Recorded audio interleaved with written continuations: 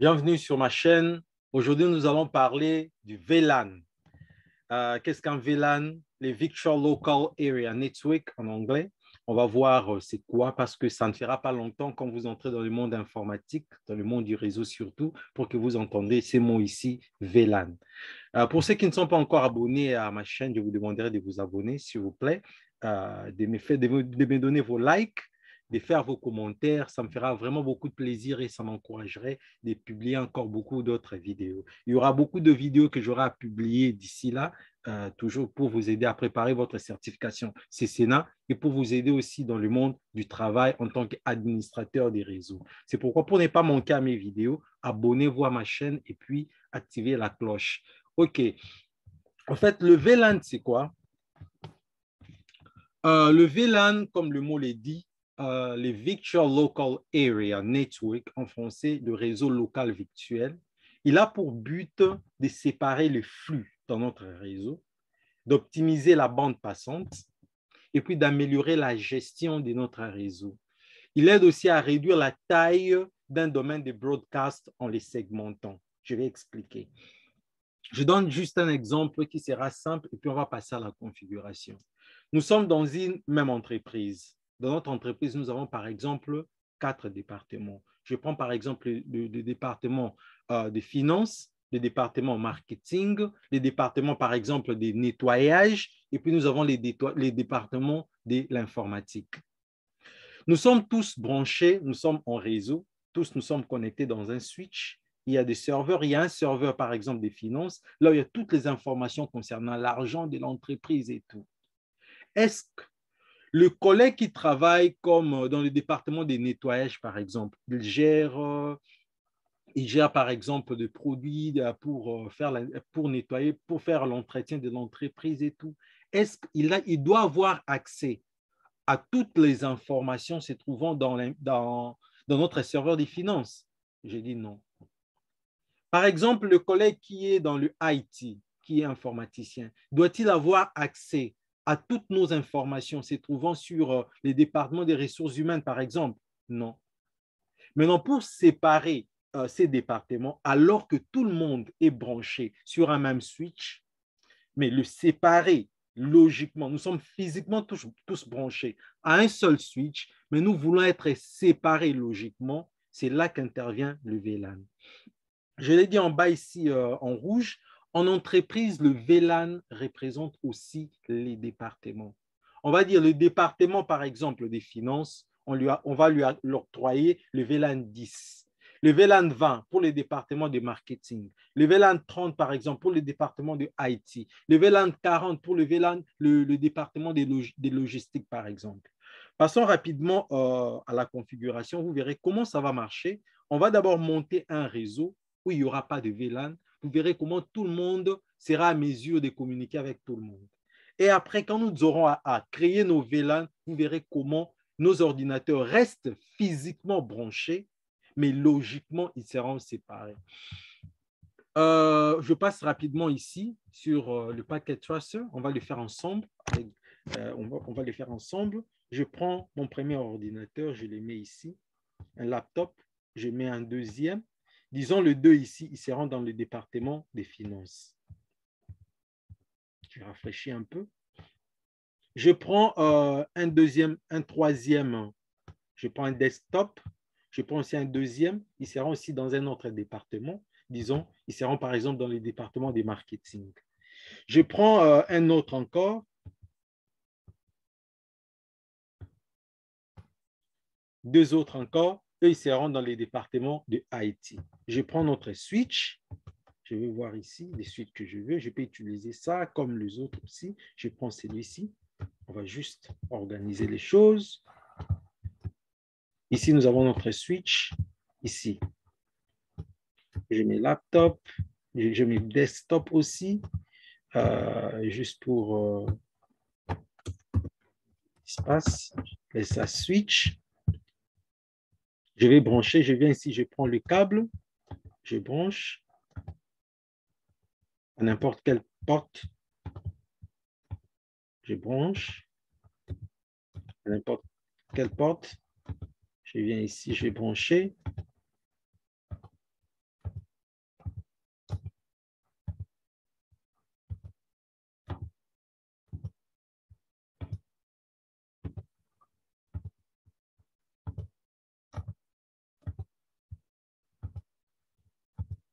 OK. Nous avons branché nos ordinateurs. Ils sont branchés physiquement sur un même switch. Pour que nos ordinateurs fonctionnent, nous devons leur donner des adresses IP. Disons par exemple, euh, on va créer des, départements. J'ai dit par exemple euh, ici, je prends prenons cette couleur pour faire euh, juste pour faire la différence. Ceci, je vais mettre couleur.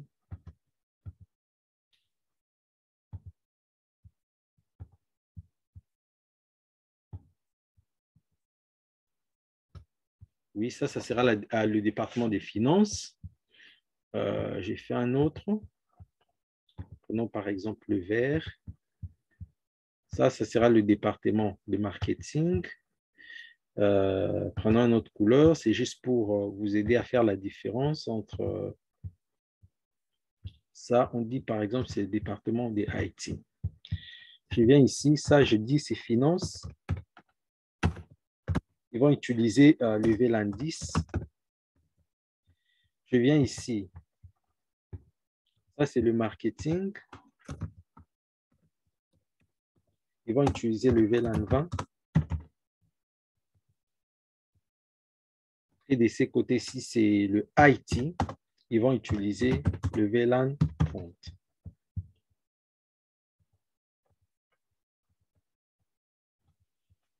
Euh, pour que nos ordinateurs fonctionnent, il faut qu'ils aient des adresses IP. Je vais donner des adresses IP. Le premier ordinateur ici, disons, lui donne 192.168.1.1. Je vais juste copier ça pour qu'on soit rapide. Le deuxième ordinateur, il va prendre l'adresse IP ici. 2. Le troisième ici, on lui donne le point 3. Le quatrième, il prend le, point 4.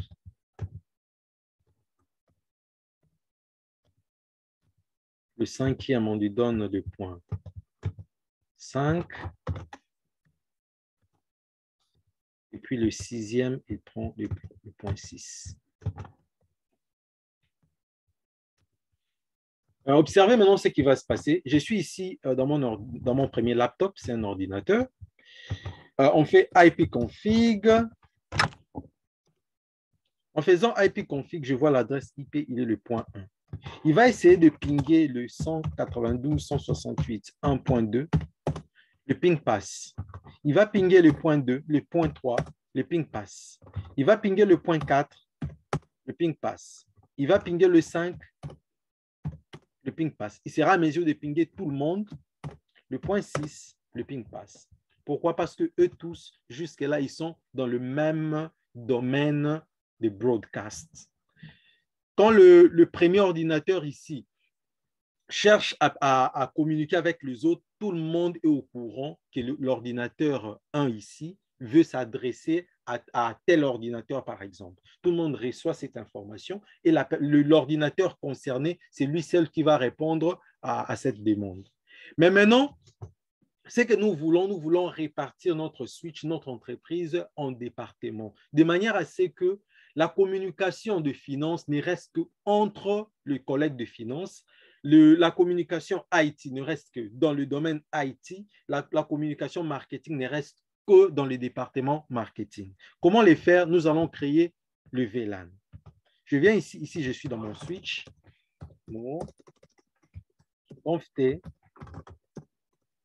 La première des choses pour créer un VLAN, c'est juste dire VLAN et puis vous mettez, par exemple, le premier VLAN que je vais créer, c'est le VLAN 10. J'ai dit VLAN 10. J'ai fait Enter. J'ai dit Name pour nommer mon VLAN. Je le nomme, je nomme ce VLAN Finance. J'ai fait Enter. Je vais créer le deuxième VLAN Exit. J'ai fait VLAN 20 j'ai fait name. Pour le VLAN 20, on avait dit, ça sera pour le, euh, le marketing, le département de marketing. J'ai dit marketing. Enter. Je peux faire exit pour y faire encore VLAN ou soit je peux, je peux toujours continuer. VLAN 30, j'ai fait name IT. Juste en faisant ça, j'ai créé trois VLAN. On peut vérifier. J'ai fait show VLAN brief. Enter. Vous verrez ici, il y a le VLAN 10 qui est là, le VLAN 20 et le VLAN 30. Le VLAN 1 ici, c'est le VLAN par défaut. Il vient toujours euh, avec nos, switches. Et puis, il y a le, 4 VLAN ici, le VLAN des tokens qu'on n'utilise pas. Les VLAN que nous avons créé, nous avons créé le 10, le 20 et le 30. Ils sont là, ils sont nommés. Mais regardez, toutes les interfaces ici sont connectées sur VLAN 1. Ça veut dire quoi? L'ordinateur ici, il ne sait même pas qu'il est sur VLAN 20 ou sur VLAN 10 ou sur VLAN 30. Maintenant, c'est à toi, après avoir créé tes VLAN, tu dois maintenant attribuer chaque porte à son VLAN approprié. Par exemple, je dis cet ordinateur, ses collègues ici, de notre entreprise, lui, il, doit, il travaille dans le département des finances. Ça veut dire quoi? Son ordinateur doit être configuré pour fonctionner dans le VLAN 10 qui est le VLAN finance. Je regarde, je regarde ici en bougeant cet, ordinateur. Vous voyez le câble ici. Je vois il est branché sur F04, les FAST 04. Qu'est-ce que je vais faire? Je viens ici sur mon switch. J'ai dit cet ordinateur qui est sur FAST 04, il doit fonctionner sur le VLAN Finance. Or, le VLAN Finance, c'est le VLAN 10. Je viens ici, je fais conft Je vais écrire le nom de cette interface. Interface FAST 04. J'ai fait switch port mode access j'ai fait Enter. Après, j'ai fait Switch Port Access VLAN 10. En faisant ça, on peut vérifier Show VLAN Brief. Vous verrez, l'interface face 04 et maintenant, il va fonctionner, il sera actif elle, sera active sur le VLAN 10 qui est le VLAN Finance. Avant, l'interface 4 était ici avec toutes les autres interfaces ici. Parce que jusqu'à là, vous verrez, il y a même 1, 0, 1, 0, 2, ainsi de suite, sont encore là. Maintenant, je viens encore, je regarde l'autre collègue ici. Lui, il est sur FAST 09. Lui aussi doit fonctionner sur le VLAN 10. Je fais interface FAST 09.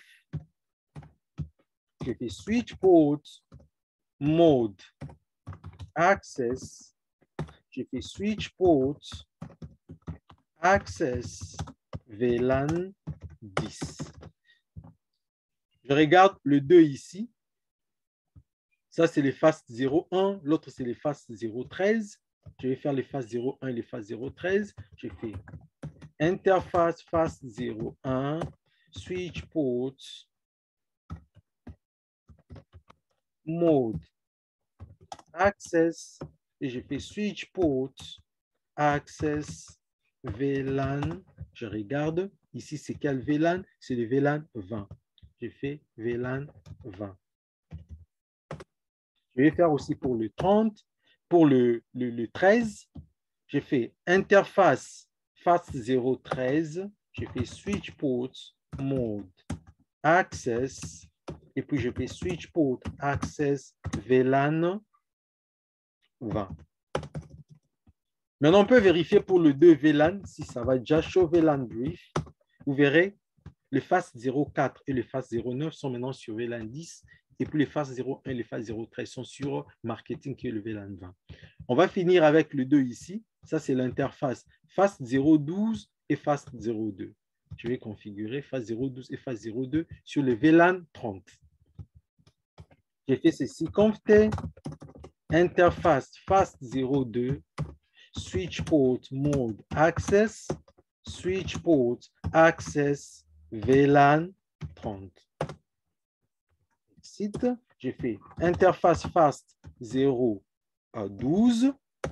J'ai fait switch port, j'ai fait comme ça. SWIT, j'appuie le bouton Tab, il comprend que je vais dire switch port, il, il complète. J'ai fait AC Tab, VLAN 30, switch ports, mode, access, OK. euh, maintenant, on va vérifier si toutes nos interfaces sont show VLAN brief enter. Vous verrez ici toutes les toutes le, six interfaces ici sont maintenant actives sur le VLAN approprié. Nous avons les phases 0, 4 et 9 sur euh, finance et puis le reste sur marketing et IT. Maintenant, on va vérifier. Avant qu'on le premier ordinateur ici pingait, il pingait tout le monde. Mais maintenant, remarquez, regardons ce qui va se passer. Il ping les deux, les deux répondent. Maintenant, il essaye de pinguer le 3. Il n'y a plus communication. Avant, il y avait communication entre cet ordinateur avec tous les autres. Maintenant, bien qu'ils sont branchés toujours sur les mêmes switches, il n'y a plus communication. Vous voyez maintenant, request timeout, ça veut dire qu'il n'y a plus communication. Pour qu'il y ait communication, il faut que le ping passe ici. Ça vous donne la réponse ici, reply from telle adresse IP et puis ainsi de suite. Maintenant, quand il vous dit request timeout, ceci veut dire qu'il n'y a pas communication entre moi et euh, l'adresse IP que tu me demandes de, de, euh, de, pinguer. Maintenant, ici, le 2 ici sont à mesure de communiquer entre. On verra, le 2 ici aussi vont communiquer entre. Le bleu ici, dans IT, vont communiquer aussi entre eux. On va voir l'adresse IP de cet ordinateur. J'ai fait IP config, enter. Son adresse IP il est 3. L'autre ici, son adresse IP. On va voir IP config, son adresse IP, c'est 4.4. On va voir si lui sera à mesure de pinguer le point 3. Certainement, il va pinguer le point 3 parce qu'ils sont sur le même VLAN. Mais il ne sera pas à mesure de pinguer le point 1 parce que le point 1 se retrouve sur un autre VLAN qui est le VLAN finance et lui, il est sur le VLAN marketing. C'est pareil pour le, reste ici, on peut voir. Faisons juste ipconfig. Je vois son adresse IP. Vous voyez, il sera à mesure de pinguer le 5, 1.5, il ping, mais il ne sera pas à mesure de pinguer le 1 ou le 4 ou le 3. Il ne sera pas à mesure. OK, merci beaucoup euh, pour cette vidéo. On s'arrête ici. Euh, je vous demanderai de, ne pas oublier de vous abonner, euh, de, faire vos commentaires, de m'écrire vos commentaires, comment vous pensez, qu'est-ce que vous voulez que je fasse encore comme autre vidéo, et puis de liker la vidéo. N'oubliez pas aussi de partager. Merci beaucoup. À la prochaine.